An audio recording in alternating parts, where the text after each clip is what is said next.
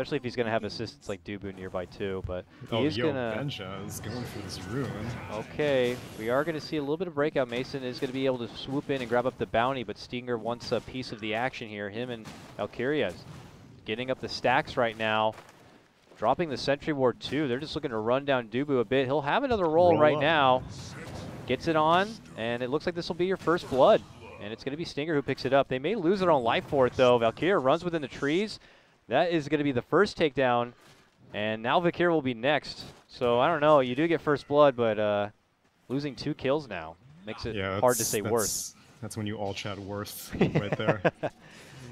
Yeah, I don't know how, how much worth it is, but hey, you know, Infam Infamous sticking to their playstyle here, aggressive as ever, as we come to expect. But they will rotate down now Stinger to the bottom lane. So let's see how much pressure they're going to be able to get on. The gets Oh, the of bash. Of course. course he gets the bash. You know Of that's how it works. And now he's just like, I guess I'll just go for the deny and gets it because those creeps are just like on roids. Seriously though. All right. Well, at the end of the day, Demon still manages to hit level 2, and I guess even with the nerf to neutral kills, oh, charging on mid, Yep. Killer Queen. Already, uh, Mineski Fange does the light softening up here. And okay, gets a couple of raises, but it's not going to stop the charge in, and that's going to lead to the takedown. This is what we expected to see, just even based on the draft. And that's going to be the first bring down. Like, how much? How significant is that now? Can he get not killed on his team? And Shadow Fiend might be next on that menu, and Earth Spirit's going to grab bounty runes. Well, that happens, and he's getting rich. Shadow Fiend's going to get a bit poorer. He gets jumped by three and just totally getting banged in the mid lane. Just hard to watch as it is. Another takedown for them. And in the meantime, Dubu's even going to get a nice, nice ward dropped here in the top lane too. on his rotating position than the Earth Spirit is on that rotating position. And the draft is definitely a bit to blame. I guess they're putting more focus on Witch Doctor being able to get his levels rather than having to protect the Shadow Fiend. And the Earth Spirit's kind of on protection duty while Dubu finds Batrider in the top lane. Yep, gives him a facial of a magic missile. Then Demon's there to follow up, but he does get jumped from the boulder smash. Valkyria looking to turn things over and go on to Dubu. Needs another right click, should be able to get it. Gets it done on the other side. Stinger still making chase for Demon. Needs five seconds before the roll, but he's got the speed and the Orb of Venom. Should slow him down a bit. Up and above, Oh, we see nice the deny. takedown. Nice deny of that bear indeed. Does not allow him to take the free 300 gold. Mid lane, And though. Demon, yeah, he's still trying to chase away, but this could lead to a kill of Shadow Fiend, which is even nicer for him. Okay, well, he's okay. Wait for him to cross the other side, sees he's not there, goes for the raise, and gets the takedown. All right, a couple of kills, though, stringing back the way of Infamous. After being taken down twice, Shadow Fiend gets the kill himself.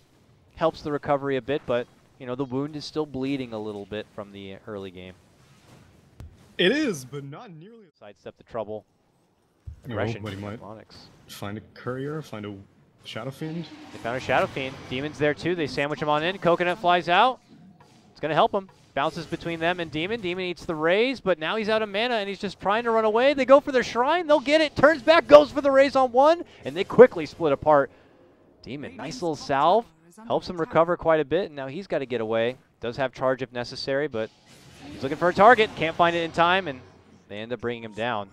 Very long-winded engagement here in the river. While this happens, as Mason's able to free farm the top lane, he's actually Oh, almost got the tier one down. Courier on the other side going to be going down from the side of Radiant as it's still Flee bugging about inside the infamous lines here. And they'll be rewarded for it. And And might find Valkyria now. Firefly's up though.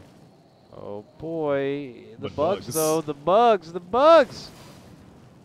They'll be able to make it away, but almost cost him his life, man. That was a really good flame break. He managed to push out the Weaver so the Shukuchi damage didn't take place, although Benjaz in the bot lane Just doesn't stop here, man. Onyx are just all in on every is what I lane right now. This is what I wanted. Here we Charge in, go. Go. Boom! Easy, just kiss on the nose, and it's over for little Benjaz.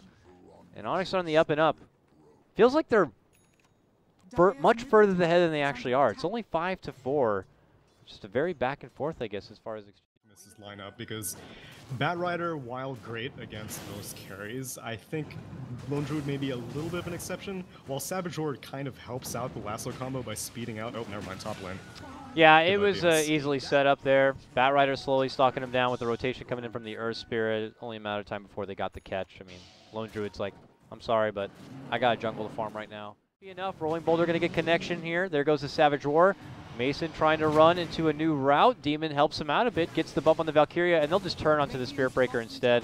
Not the more prized target, but they'll take what they can. And take the. Now they'll turn into a tier one push.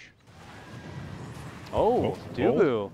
Kick. They're going to go all No the way in for him. Yeah, he's reserving the kick for now as he has light on mana, and they'll be able to get the finish there. But let's see if Onyx goes for a fight back now. Flee shows up, dishes out the swarm. A lot of damage onto the bear, though, at risk of losing and gaining that money over to Benjaz. Demon, in the meantime, going to get the charge on in, looking to go for the Shadow Fiend. They will get the takedown. Him and Flee will be able to bring down that guy, but it looks like Mason up in arms. Savage Roar keeps him off. Valkyria to the high ground, but Demon looking to make chase here. Oh, nice flame break. Bumps Demon back down and below, but he is still not safe. Tries to go for the Admirable TP. We'll be able to make it out in the meantime. Dubu gets the takedown as Stinger was trying to make it back inside the base. Still not even level 6 yet. Wow, that was an awkward roll in, but they'll get close enough for the bomb, but a quick repel will help them shrug it off. They'll put onto the next target, which is going to be Dubu, then followed with the lasso. There's going to be the swap save. They go for the grip, the silence, the lockdown. Can Minisky get off the time lapse? No!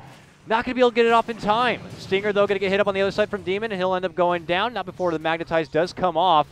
Love Yourself going to be able to make it back in a way, but Demon is the one putting in the work right now. Double kill, and then a hammer comes in, and they'll get the finish on the Valkyria, making a triple kill for Demon as they clear out the rest. A full five-man wipe on the side of Infamous suddenly, as Onyx get the better of the trade. Because, I mean, Shadow Demon, I mean, sorry, Spirit Breaker is pretty good against Shadow Blade, Mm-hmm. and you may be able to use it aggressively, but Infamous is not in a position to do anything aggressive, as we can see Batrider getting obliterated by four Onyx heroes. Yeah, it's a.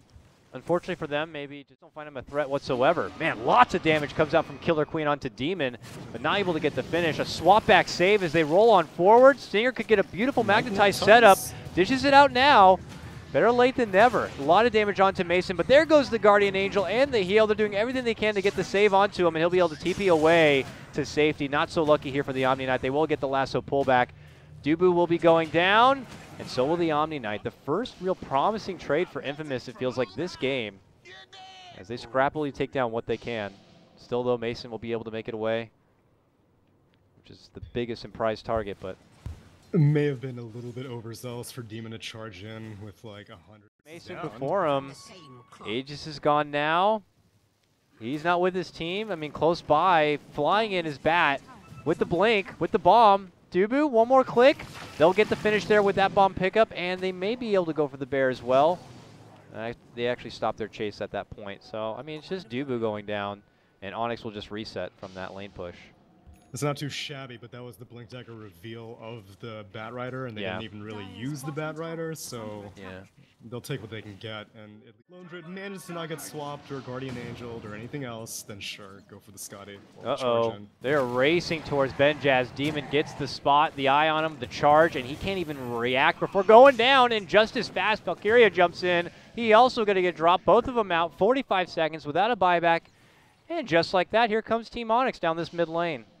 How unfortunate, as now this is going to cost Infamous a little bit. I don't think they're going to have much to react to without those two available to them. But Killer Queen will move in, dishes out a couple of raises. They try to roar him back. But they're already going to work here. Mason with that DD rune just chunking away at that tier 3. Now they're going to get the move in. Stinger trying to jump in, dishing out the magnetize, trying to roll out, but not going to be had. Hope as well. Can't get a whole lot going with the help of that Death Ward. It looks like Onyx are going to be able to shrug that one off. They still have Guardian Angel available to them. And now Killer Queen looking to make his move in. As he steps in, getting it charged up, getting a hit with the dust. Right click's coming out from Mason. It's going to be Flee taking down the Witch Doctor at that moment.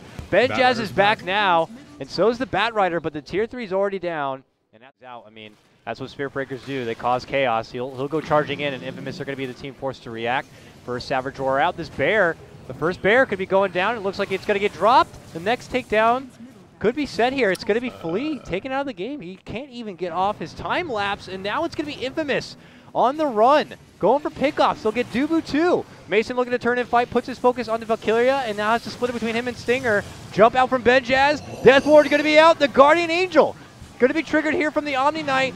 He's shrugging it off though. With the repel, Mason can still fight, and there's not enough firepower coming up from Infamous on this one. But Benjaz says he's got enough. He is going to finally be able to break through and take that Aegis down. Look what's waiting. A Requiem right at the end of it. Beautifully done there from Kotaro.